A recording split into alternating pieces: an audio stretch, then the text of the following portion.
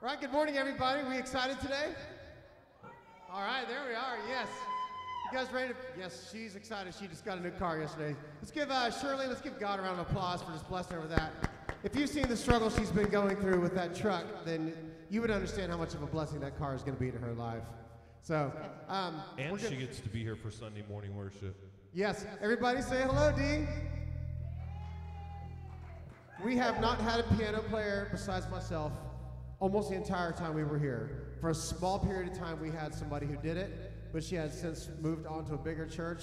She had never played with a worship team before. She played with us and then took that into a career path to lead worship and ministry. So it's pretty cool the things that start and birth from this church. So, uh, okay, so let's stand up.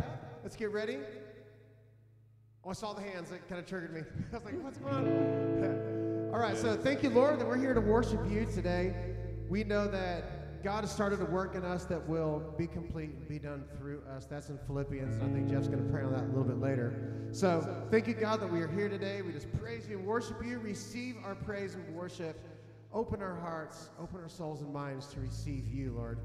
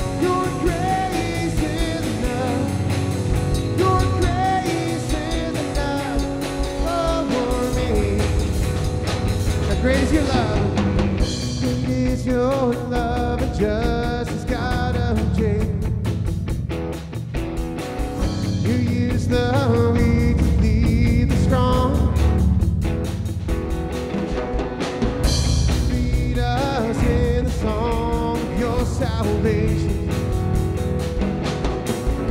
And all your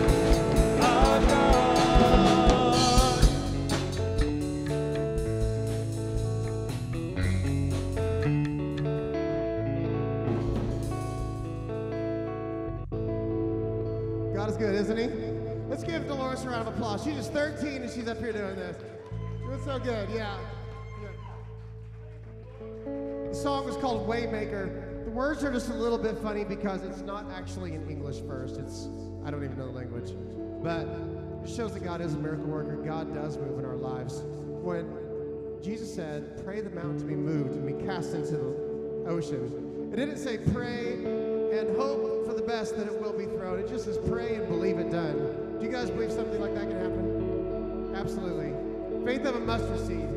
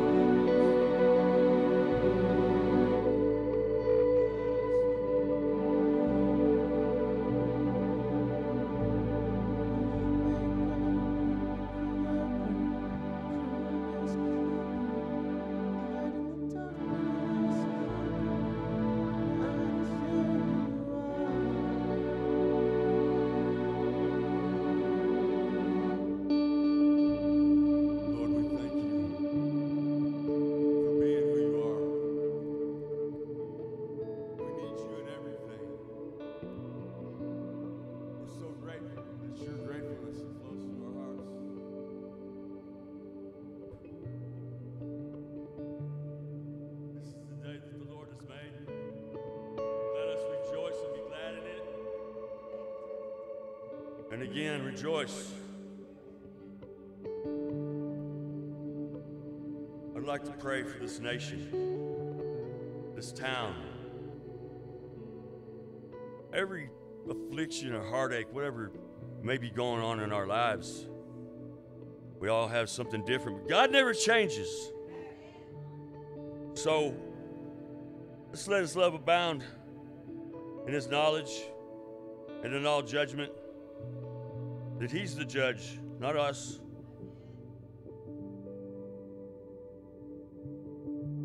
This is Philippians 1:10. It says that you may approve things that are, are excellent, that you may be sincere and without offense until the day of Christ. It goes over to 19.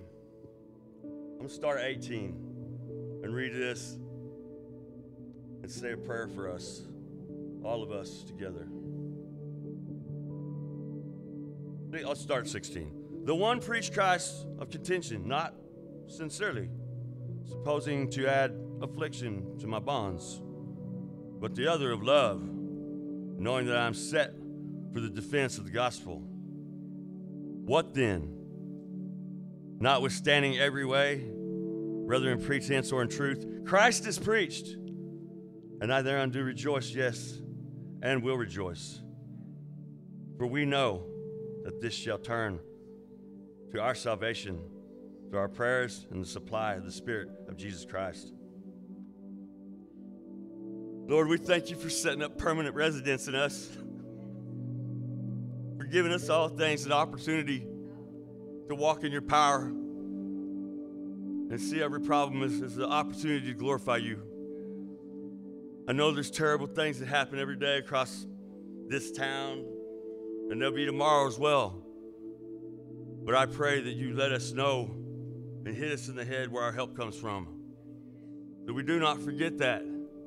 That we grow in your might, your power, your love, and we understand what you allow us to understand. Without you, we have nothing. For the offenses and the things that have happened, Lord, let us glorify you. Let us get out of your way and let you do what you do, Lord. We need you. And I believe this day in this body and across this world that there are miracles happening. And we look for the things unseen, not seen. And our faith is now completely surrounded and saturated by the Spirit of living God in this blessed and breakthrough living everyday book. And I thank you, Lord Jesus, for being about it. We have nothing without you. I love you, Lord. I love everybody here, and I'm grateful for your power and your presence and your majesty. Somebody says, Amen. Hallelujah. Thank you, Jeff. That was, a little loud. Um, before we go any further, um, I want to ask uh, those of you that, Jonathan, can you take me down just a hair? My gain or anything? um, we're going to pray. I'm going to ask for those of you that, is it better? No? Okay. Those of you that can get on your knees, um, uh, God took a soul home recently, um, and it was a small child. And I'm not going to go into too much detail, um, but right now I would like to pray over that family. We have to pray over that family. Not only do we have to pray over that family, but guess what? We have to pray over the man that did that. We have to pray God's over him because God is merciful. So let's pray together, church. Lord God, Jesus, we come before you today, Lord God, humbled by your majesty, Lord God, your grace. We ask that you wrap that family in your love, Lord God, your loving kindness, Lord Jesus, your comfort, the peace that only you can provide, Lord God. Allow them to completely understand that your grace, even in this situation, is sufficient. Lord God. Your grace is sufficient, Lord. Comfort the family, every member of that family, anyone that has an ounce of blood in them from that child, Lord God. Right now, send an angel to them to minister to them, to heal them, to comfort them, Lord God. Now is the time. Use this situation in the ways that you can, Lord God, to glorify yourself. Somehow we know that you're a God of timing and you're a God of majesty. God, we ask for the mercy for the mercy on the soul of the man that did this, Lord God. You understand all things. We can't see things from your height, Lord God. So we ask for an ounce of that understanding so that we too can join in being merciful, Lord God.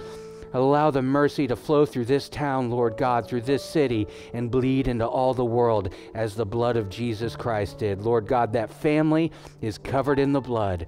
God, covered in the blood. Thank you, Jesus, for dying for our sins, every single one of us, Lord God, without exception. Jesus, comfort the family, Lord God. Comfort them in your holy name, in the name of the Father, the Son, and the Holy Spirit, we pray. Amen. Amen. Thank you for dealing with me there, church. There's There's only one way that believers get to uh, fight our battles, and that's on our knees. That's where we fight our battles, is on our knees. Teens, um, I'm going to pray over the tithes and offerings. Um, teenagers, somebody grab some buckets. Heavenly Father, we come before you today once again, Lord God, with our first fruits, Lord Jesus. We see that you're moving, Lord God, so we're going to move closer to you. We're going to pray closer to Jesus Christ by offering you some of what you gave us, Lord God. You own the universe, you own our cars, our houses, our children, our wallets, Lord God. So now we give some of it back to you, Lord Jesus, because you have earned it. You deserve it because we've received salvation through your Son, Jesus Christ. We love you so much, God. We offer this to you today. Bless this, Lord God, that it may multiply your kingdom on this earth. In the name of Jesus, we pray. Amen. Yeah, do you want to do it now or at the end? You can. You do it now. Where's Nicole at? Thank you very much. She's gone. Spirit Nicole took. describe this a lot better while we're passing that out. Um, so tonight at five o'clock we're having a labor auction. The purpose of this, the purpose of this, is to raise money for the kids to go to youth camp. Um, the first time I ever really feel any kind of movement, Holy Spirit, was when I was at church camp when I was 16 with my grandpa. We went down to Dolores, Colorado. She didn't even listen. What? And uh, it was a girl playing guitar and singing. It was the most amazing thing I'd ever felt in my entire life. I don't know if I've felt it quite like that since then. And that's just a little bit about church camp. So um, the labor auction, um, I'll let Nicole do the details. She is way better at that than me. Uh, we did put a quick list together for um, the teens and preteens that will be auctioned off tonight at 5 p.m. here. We're going to start with the bidders. We're getting a potato bar. We'll have the potatoes and all the fixings for that. If you want to donate for that or you just want a potato, that's great either way. And then after we get done eating, we'll just all come in here and then we'll just proceed in auctioning off the preteens and teens. And do you got girls or boys want to stand up that are going to be auctioned off? One, two, three, four, five, six. We, and I think we have, yeah, eight. So, and if you want a list, if you can't make it this evening and you want to put in a bid, we've been getting bids online as well. So if you want to put in a bid, we'll put it in for you and see what happens, I guess. Amen. If you have any easy, light work, I'm talking like just watching your TV, I'm up for bid too. Not gonna happen. guy's up for bid Not as gonna well. happen. Yeah. She has a list. Yeah. Okay. All right, stand up, preteens. You wanna and stand up? teens. Yeah, come on up here.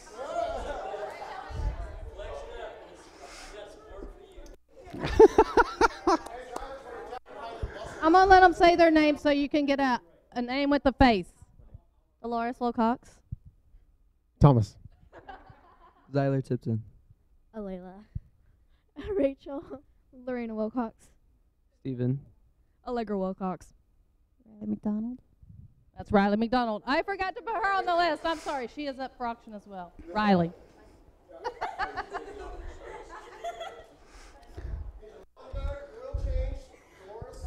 What? church camp. It's going to finance the kids to be able to go. It's going to finance the kids to be able to go to church camp, and we really want them to go to have that experience. It's five days, no electronics, all kinds of amazing. Yeah, right. I could use that. The elementary is also going. One week the elementary will go, one week the junior high will go, one week the high school will go, and that's all in June. The poster's out in the uh, foyer if you want to see what dates those are. We know how many kids yet? Probably at least eight to 10 to 12 to 15. We do have applications out if you need one. So if you if you guys didn't notice, there's less of a children's presence. Um, are y'all staying in here today? Okay. Well, you're dismissed if you'd like. Um, Uh, they've kids have been going to the gym from 10:15 to 10:45. There's a whole bunch of uh, basketballs. We've got a massive gym. They've got breakfast and stuff out there in the morning. So um, let them burn out some energy before they get to class. And uh, learn some scripture, amen, because that's what children are supposed to do. We're supposed to teach them and train them in the ways of the Lord. Um, but you know, it was weird. It was a less, a little bit of a. a I'm used to kids running around in here. Um, how many dads do we have in here with young children, or you know, 12 or younger, or anything? You know, you you you wait uh, all year long. You're like, man, if I could just have this house to myself for like 10 minutes, um, and then finally, uh, your your wife takes all your kids and goes somewhere, and you kind of stand there like. That's how I felt this morning. I was like, where where did everybody go? Um, but they have a good time out there, and they're in good hands of uh, my wife and Nicole and all them. So I will warn you today. Um, I brought my Baptist napkin, napkin with me today, which means it's going to be a little bit of a, uh, uh, a convicting sermon. And my wife loves these because why? She has to go teach the class. So when when we get home, she gets to uh, go and sit on, watch me on the big screen TV, and everything that I say on there, she does this to me. Because it's one of those, it's one of those. But you know what? If I, uh, uh, if I couldn't preach about what I was doing wrong, what God wasn't approaching me about, then I'd never be able to preach at all. God's got to deal with all of us about something. So um, we're all going to grow and we're going to work through this together. Um, but there's been a problem arising in today's society, and, and it's, it's causing um, a lot of grief. It's causing war. It's causing um, unthinkable things. Um, we're living in a fallen world. And this is, this is a sin that I'm uh, guilty of as well. But before I even dig in, let's go to some scripture, because um, that's the first thing we should do every time. We're going to be in Colossians 1 10 and then 11. I'm going to be in the New King James Version. Um, and we'll, we'll come back to the scripture. We'll bounce around a little bit, but this is where we're starting. And we're going to break it down a little bit so we can have a fuller understanding of it. Uh, we'll start in, let's start in, um, can you go back to, no, okay. That you may walk, walk worthy of the Lord, fully pleasing him, being fruitful in every good work and increasing in the knowledge of God. Okay, so in the previous verse, in 9, it says the knowledge of his will. So, what Paul's doing is he's talking to the church of Colossae, and he's saying that he wants us to walk in the full knowledge of the will of God. Okay? That's a desire that we should all have. If we're Christians, if we know Jesus Christ, it's something that we need to have a desire to do. Why? Because if we don't have a proper understanding of what our God's will is, I mean, what are we doing?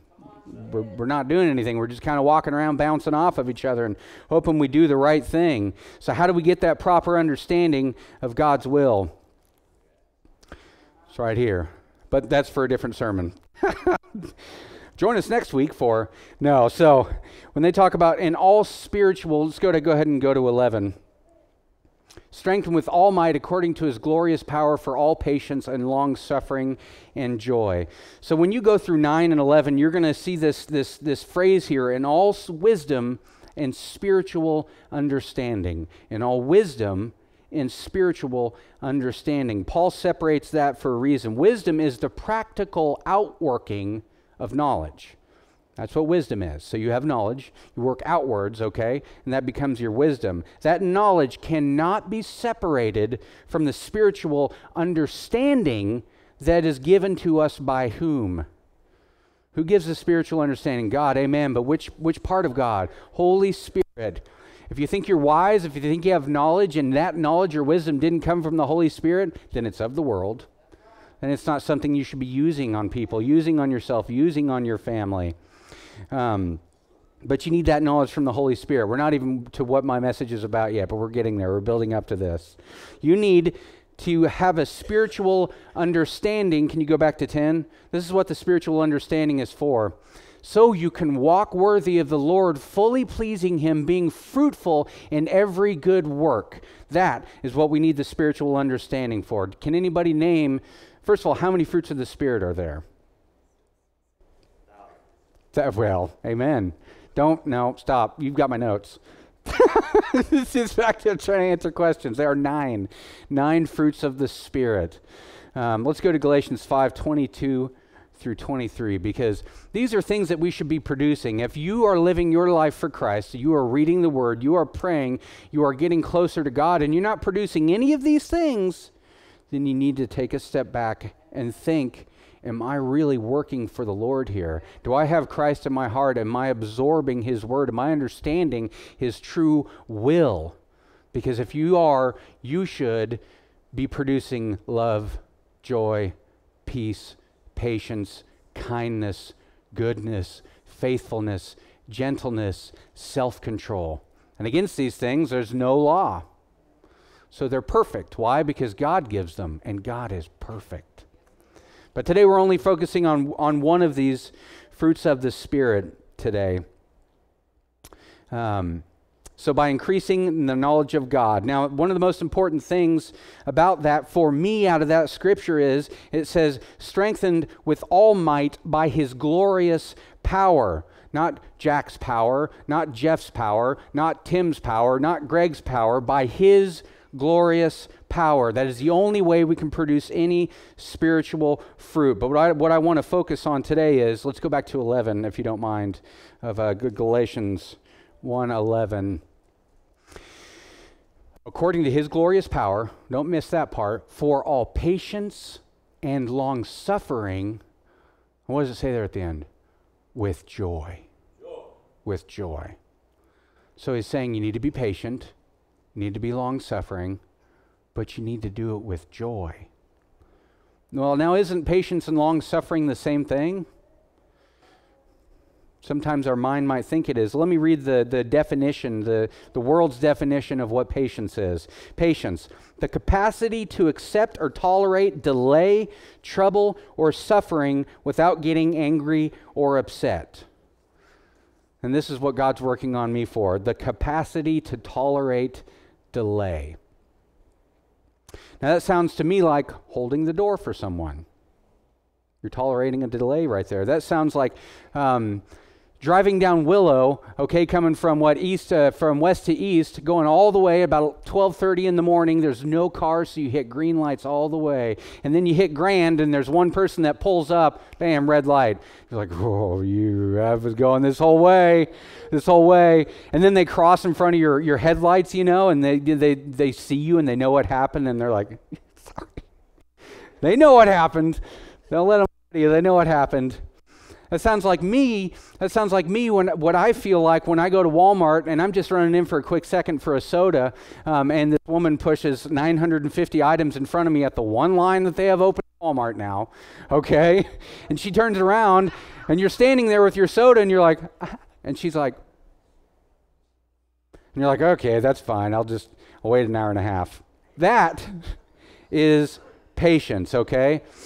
So, what is long suffering? Because we just only got the patience. What is long suffering? This is what the world says having or showing patience. So, it's showing patience in spite of troubles, especially by those caused by other people. So now we've moved up, we've evolved there. It's, it's about people now, it's about troubles caused by other people. Now it doesn't sound like holding a door anymore. Now it sounds like getting out of a music recital really early from your kids so you can beat the traffic out. You open up the front door and you're like, hey, not a problem. And 600 people pile out and you just kind of stand there with the door like this. Does that ever happen to anyone? Is it just me? Great. and you just smile and nod at every single person that comes through that door. Now that sounds like hitting every single red light going down Willow at 3 p.m. traffic because everybody and their mother comes out. We've moved from patience to long suffering. Now it sounds like that one person in front of you at Walmart with that one cart. You've got your soda, you're waiting on them, right? You reach around to grab a candy bar, you turn around, 15 more people are in front of you. That is long suffering. We've moved from patience to long suffering. So, the sin I was talking about at the beginning of this, and the sin that is prevalent right now, is the inability to tolerate other humans. We've started to lose that ability. I know it's getting ready to get there. Every time my preacher back in the day, my dad would preach a convicting sermon, I was always waiting for him to go, You. And I was like, Oh, here's me but it's all of us. Every single one of us are losing our ability to tolerate other human beings, whether it be in lines or in traffic or at school. Anybody know here? Anybody that that um, is just waiting for you to finish your sentence so they can talk? They're not really listening. That's not long suffering. That's not patience. That's not of Christ. So, When I'm talking about a lack of long suffering, I'm talking about a lack of mercy. It's a lack of mercy. It is. Well, holding the door for someone isn't, isn't merciful. Are you sure? I mean, who made you the judge? Are you sure that one of the people that you didn't hold the door for coming out of that school didn't just come through a life shattering experience and you smiling and holding the door for them didn't plant the seed of positivity in their heart that they carried home and God watered and nourished? It's merciful. If we all want to claim to be merciful, if we all want to claim that we're walking this, this life of Christ, then where's our mercy? Christ died because God is merciful. You want to talk about patience? Let's look at God. Can you imagine the universal amount, the infinite amount of patience that God has to have to deal with us? And we can't hold the door for someone? Well, I'm a Christian. I'm not, going to hold the door for you, but I'm a Christian. I've got somewhere I got to be. I've got. I'm like I'm, five, I'm running five minutes late there, but uh, good luck. What if God said that to us? God didn't send Christ to die, but say, you know what? You can die, okay? And you're dying for these people, but this guy got drunk the other night and he overslept and he missed half of his work shift, so um, not that guy. Uh, there's a group of people over here. Um, they've been gossiping all morning, so uh, when you die, not for them. Um, you know, there, there's someone over here that I'm pretty sure they're full in sin. That's not what God said. What did God say? What did God say? Let's go to 2 Corinthians 5:15. He died for all, so that who that they who live might no longer live for themselves, but for him who died and rose again on their behalf. All. You see, Satan wants you to separate people in your hearts and your minds. He wants you to look at people and say, oh, that guy's got tattoos you know, I bet you he's up to something to no good. Or that guy, he, he's, been, he's been to prison. So, you know, you can let him over at your house, but, you know, just kind of keep an eye on him, you know. These are thoughts of Satan. Christ's going to put beautiful, pure thoughts in your mind about all people. Why? Because we're children of God. Every single one of us. That's why it says he died for all, so that they who live might no longer live for themselves. We're not living for ourselves. Who are we living for? We're living for Jesus and we're living for each other. We have to stop listening to Satan.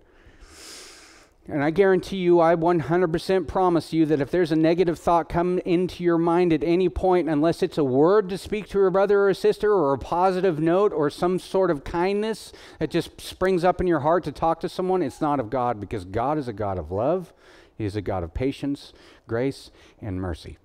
That's what God is. So if you're experiencing those things when you're looking at people, or you're, pardon me, holding that door, then you know that's God's work.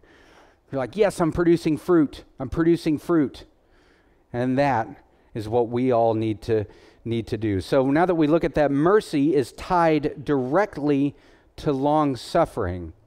And you know what the most amazing thing about it is, is, is I get a lot of different questions um, as a pastor, and, and one one of the questions I get is what, what's God's character? Because God has a character. You can, you can read about God's character right here in the Word. It's very, very uh, definitive on what God's character is. God's character is mercy.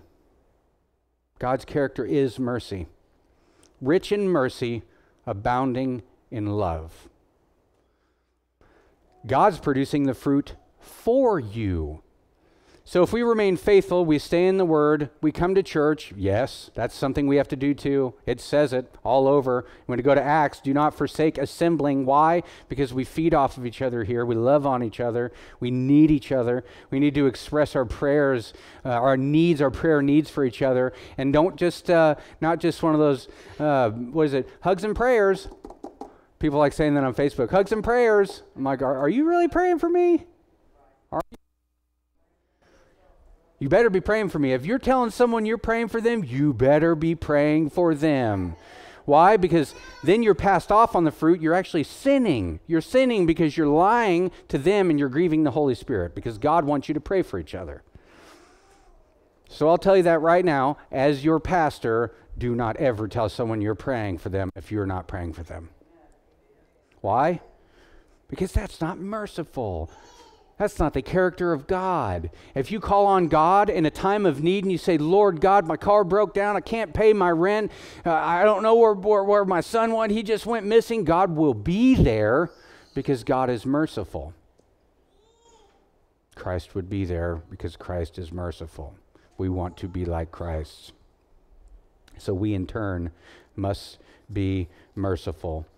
You know, I, I, I had a dream a few nights ago about the character because I'm, I'm, there's these sermons as a pastor you i'll be writing a sermon until my deathbed.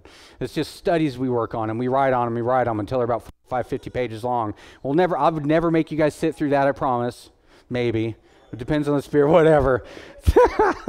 We'll see. Um, but um, I had a dream, and, and it was about God's character. And this is the study I've been doing for a long time about God's character. And, you know, and what does God's character actually look like if we were to be able to see it in this world? What does mercy look like? If you want to know what God's character looks like, if you want to know what God's mercy looks like, look in the eyes of a child that is waiting to be adopted, had been waiting 10 years. They finally got adopted by a family and hugged by their adopted mother for the very first time. Look into their eyes and that's what God looks like. What about a veteran that lost both their legs and they have no money and no ability to get any job, and you walk over and you hand them a big old warm meal and you give them a hug and wrap a blanket around them? Look into their eyes. That's God's character. Anytime you help someone, this is one for me, this is what hits me the most. When I get mad at my little baby who's about this big, because I don't know if you guys who, who has me on Facebook has seen it, it took a permanent marker and was like, yes, and just all over. And uh, it was actually a permanent marker I used to mark stuff at work with, and I couldn't find it. I asked my wife, I said, Where's my marker? And she sent me that picture of my son. I was like, Oh boy. So I guess technically it was my fault for, for leaving my toolbox out, my backpack out, but. Um, when you yell at your child or you get upset with your child or you punish your child and they still come back to you afterwards and they looking at you with love and affection and looking for forgiveness in their eyes, you can see it. That is the character of God. That's the closest you're ever going to get to seeing into the character of God. And it's amazing. That's why when you start producing fruit, you get these opportunities and abilities to see the world the way God sees them and say, oh man, that's, that's Christ right there. That's Jesus over there. Look into my baby's eyes. That's the character of God. We need to learn to start recognizing that. So now that we know everyone, everyone, everyone deserves mercy. Everyone deserves mercy. All of them. All of them killers, robbers, thieves, rapists, everyone deserves mercy. It's not up to us to judge. In fact, we have no right to judge others. That's God's job. All we can do is pray for the mercy of people's souls and say, God, work through their lives, Lord God. Open up their hearts, Lord God. Open up their eyes and their ears so they can understand who you are. And then we can understand what? Long suffering is. What we should have been experiencing this entire time. Let's go to Romans 2 4. And this is where the joy part comes in because it's patience and long suffering with joy. How do we experience that? So, you don't you see how wonderfully kind, tolerant, and patient God is with you? Does this mean nothing to you? Can't you see that his kindness is intended to turn you away from your sin? Boy, that's intense. That means your mercy and your kindness to people in your lives, if they're going through something they're sinning, you, just by your kindness and your patience, are going to help them turn back to God or turn towards God. That is what the power of mercy is. And that changes your, your, your, your uh, uh, long suffering and your patience. The next time you have to hold the door for 250 people coming out of a concert, you're not only going to hold it, but you're going to hold it like this. And they're going to think you're nuts. But you're like, yeah, Keep coming. Keep coming. this all day long. all day long. The next time someone lines up in front of you, you got 20 people in front of you, and you look behind you and there's five more people at Walmart, you go, you step out of the way. You know what? I'll wait an extra 10 minutes for my soda. I'll wait an extra 20 minutes for my soda. Let's go to first. Uh, let's go to uh, Colossians 1:11. We're going to be the New King James version for this one specifically as well. Oh wait, yeah, went back. Okay, so that's patience and long suffering with joy. So now, if we have an understanding and we accept what Christ did for our sins on the cross, right? And we learn Matthew 25 40. That's where I was going next. Sorry. Matthew 25 40. And I think we're in the New American Standard Bible version for this one.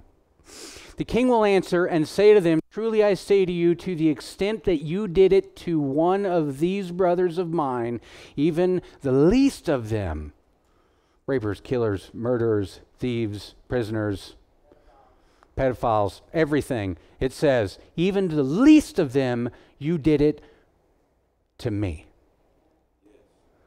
So, guess what? When you hold the door, you're holding the door for Jesus. When you let someone stand in front of you in line or you step out of the way, you're letting Jesus step in front of you. When you let people cut you off in traffic and you're okay with it and you accept it with joy, Christ sees that. And you're doing it for Him. That's why we need that mercy, that long suffering, that loving kindness. These are words that are identifiable in the Bible, and we need to understand them. We need to do word studies on them because they're not all the same thing. The Bible is written for a specific purpose in a specific way. So we, our human brains, can understand. Um, I want to conclude with one final thought and one and one final verse because we've been talking about long suffering today, and we can't finish without uh, talking about the ultimate example of long suffering. Uh, we're going to go to 2 Peter 3 9. The Lord is not slow about his promise, as some count slowness, but is patient towards you, not wishing for any of you to perish, but for all to come to repentance. Long suffering is God waiting for people to step into faith with his son, Jesus Christ. I'll say that again. Long suffering is God waiting for people to respond in faith to his Son, Jesus Christ. That is long suffering. That is long suffering. So now that we know that, we can know three things God is the source of long suffering, God is the source of patience, God is the source of joy. Joy is the byproduct of being connected to the source. So if you're connected to the source, if you're connected to Jesus Christ, you should be producing joy. And if you don't know how, get it. Get you some.